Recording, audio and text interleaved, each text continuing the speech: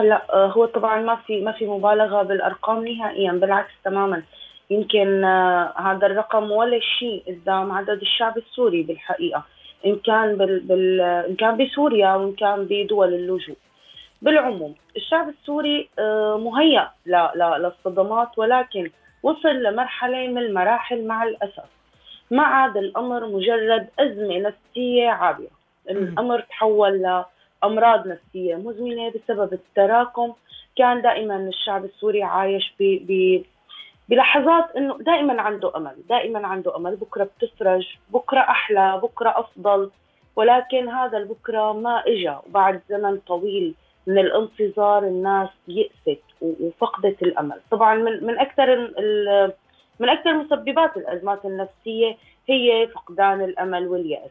مع الأسف الأرقام اللي انذكرت لا تساوي إلا جزء بسيط من الحقيقة. آه، من من فترة قريبة كان في عندي تواصل مع عدة أشخاص بسوريا. فاجأت بانتشار مرض الكانسر. آه، الله يبعده عن الجميع يا رب. بشكل لا يوصف بأعمار صغيرة. يعني بنات وشباب بعمر ال 14 وال 15 مصابين بال cancer. طبعا بحكم إنه نحن ببلد آه، مع الأسف إلى 12 سنة بالحرب فهي غير مهيئة نهائيا لمساعدة هدول المرضى واحتوائهم والتعامل مع مرضهم بالشكل السليم. يعني نحن عم نحكي يعني حضرتك أعطيتي معلومة عن مرض الكانسر اللي هو مرض عضوي وأكيد له آثار نفسية على المريض. تماما. والإحصاءات عم تحكي عن يعني آه، حتى أمراض أو حالات نفسية غير مفسرة ما قدروا الدكاترة يفسروها. يعني هذا التوصيف بالطب النفسي بعلمكم باختصاصكم. شو معنى؟ شو معنات أمراض نفسية غير مفسرة؟ أنا اعطيتك أنا أعطيتك ال cancer لأنه أثبتت العلماء مؤخرا إنه من من أحد مسببات ال cancer هي نقص المناعة. نقص المناعة بتجي بسبب آه عدة عوامل نفسية ومن أهمها الخوف والقلق المستمر.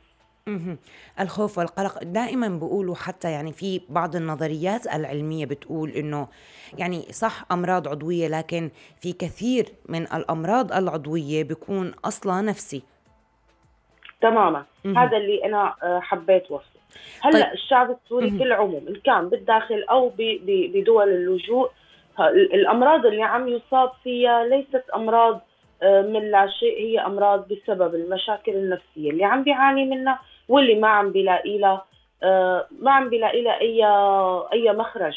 يعني ما عم بيلاقي آه، سبيل للحل.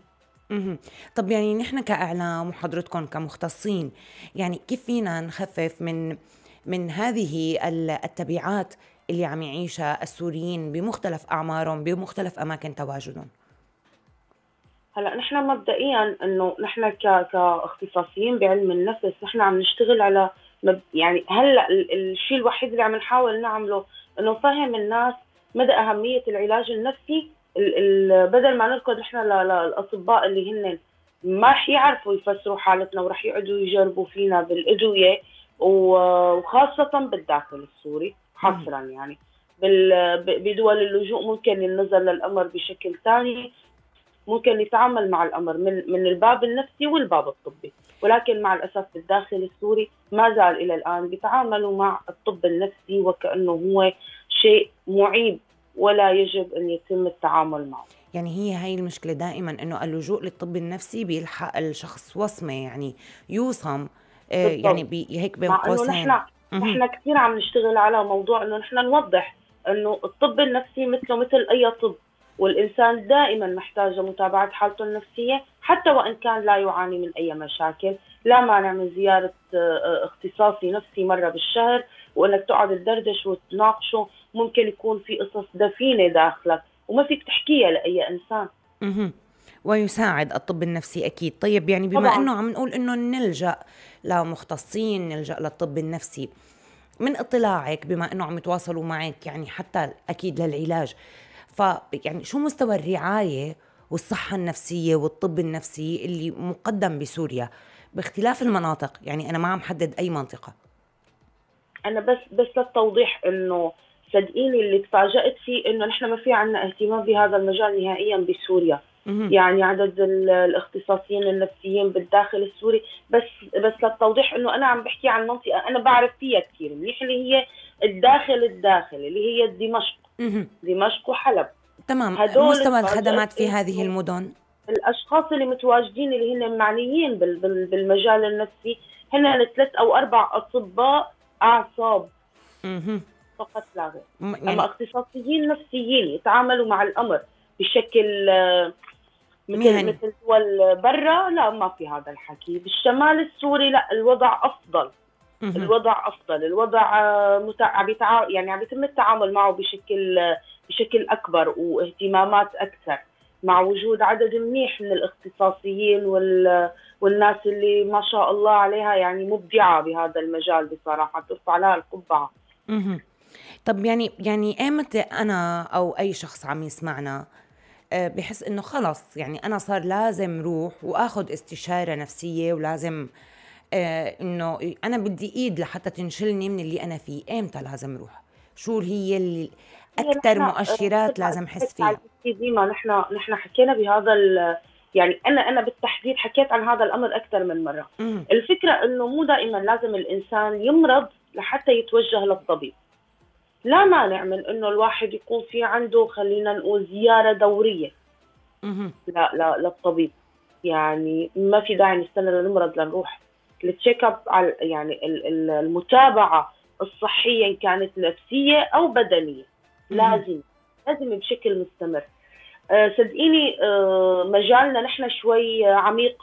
يعني انت ما بتتخيلي إنه ممكن موقف كثير بسيط يمر معك خلال اليوم.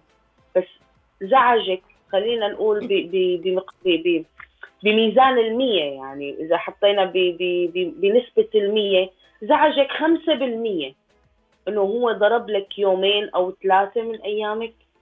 ما عاد فيكي تنسيه بسهولة. هذا الشيء عمل عندك تراكم.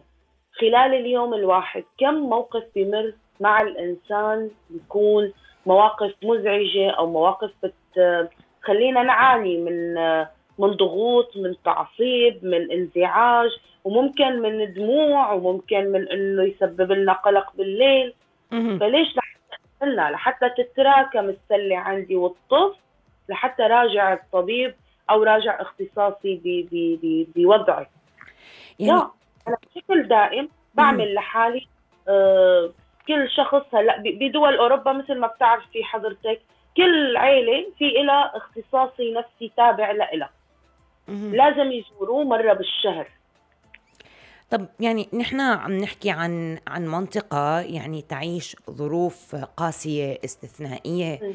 على مختلف المناطق آه، الطب النفسي يعني نحن نعرف إنه بشكل أو بآخر مكلف يعني في دول الشرق الأوسط لكثير أسباب منها حتى قلة أعداد صحيح.